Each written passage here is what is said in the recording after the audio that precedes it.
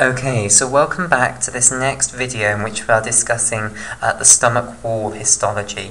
Okay, right, uh, so uh, we've now looked at the epithelial cell layers, we've looked at the outer layer of cells uh, which faces into the lumen of the stomach. Okay, what we now want to see is what lies underneath this. So basically, what you then have is a layer of connective tissue called lamina propria. Okay, and this ends when you have a layer of smooth muscle cells known as muscularis mucosae. So I'll put this here.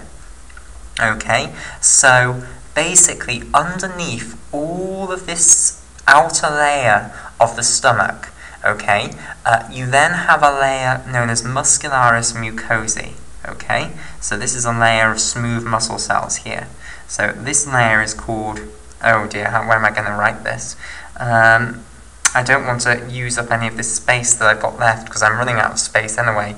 Um, so I'll have to bring this in sort of like here. Right, so this is muscularis, okay, and it's muscularis mucosae because it's within the layer of the stomach wall that is called the mucosa. Okay, so all of this gap between the muscularis mucosae layer, which I'm going to colour in red here because it's a layer of smooth muscle, okay? And uh, the basement membrane, all of this is just connective tissue, okay? So I'll colour it in blue. And this connective tissue layer here between the basement membrane and muscularis mucosae is called the lamina propria. Okay, so in blue, all of this connective tissue is called lamina propria. And of course, you will have blood vessels in there. You'll have um, little capillaries and um, little arterioles and little venules and things like that, and also lymphatic blood vessels, things like that. Okay, then underneath the muscularis mucosae, what you then have is another layer of connective tissue, okay, and this is called the submucosa. Okay, and to understand why this is called the submucosa, we need to understand what the mucosa is. So basically, when people say mucosa, that is another name for all of what we have discussed so far, apart from the submucosa, of course. So, all the way from the columnar epithelial cells through the basement membrane, through the lamina propria, which of course will be a differing thickness depending on whether you're looking underneath a gastric pit or not, okay? Uh, and also including the muscularis mucosae, all of that is called the mucosa, okay? So it will be called the gastric mucosa, like so. Right, so this portion of connective tissue underneath that is then called the submucosa. Now what's in the submucosa? Well you'll have arterioles and venules and things like that. So here is an arteriole, let's say this is a venule, and of course they will have branches which come off them, smaller little branches, which will go into uh, the lamina propria, so they'll go through the um, muscularis mucosae into the lamina propria and they will then branch into capillaries and then the capillaries will reconverge to form little venules which will then go back and join the bigger venule which is within the submucosa and they'll supply obviously the columnar epithelial cells and the other cells which are in the lamina propria with blood. Okay, so this is an arteriole here, okay, and then we've also got a venule. So what's underneath then the submucosa is the next question. Okay, so underneath the submucosa we now have three layers of muscle. Okay, three layers of smooth muscle. Okay, now the first is what's known as the oblique layer of smooth muscle. Okay, the second is then called the circular layer of smooth muscle. And the third is called the longitudinal layer smooth muscle cells.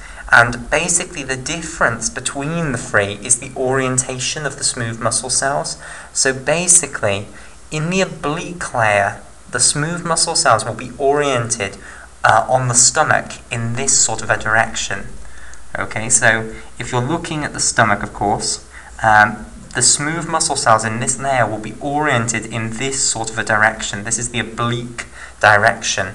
Okay, so if we try and draw uh, this, remember what we are looking at here. We're looking at a little section of the wall here. Okay, so what will happen is the smooth muscle cells will sort of be going in a direction that's half coming out towards us and half going in that sort of direction. So basically they're coming diagonally out like that towards us.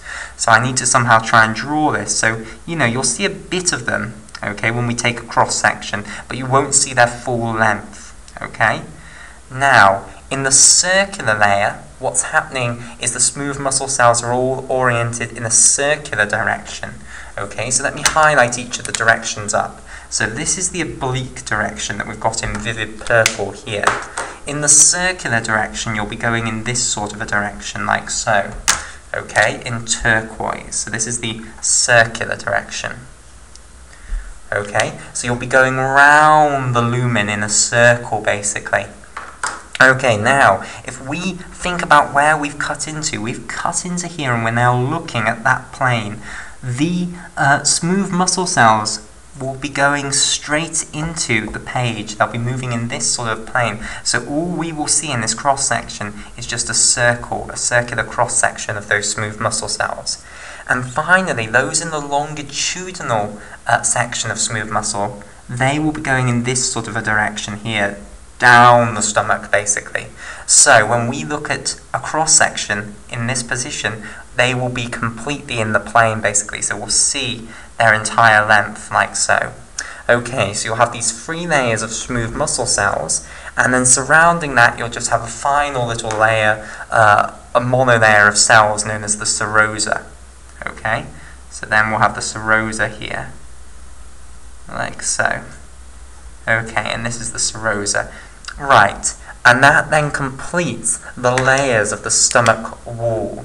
Okay, so you've got the mucosa, the um, submucosa, then the muscular layer here, so all of these three muscle layers can be grouped together as the muscle layer, okay, and then finally the serosa, so you can group the uh, wall of the stomach into these four sections, the mucosa, which is uh, responsible for the secretion of gastric juice, 2.5 litres of it a day, and then the submucosa, which supports the mucosa, it has all the big blood vessels which supply the cells of the mucosa. Then underneath that, we've got the muscular layer, and then underneath that, uh, the serosa.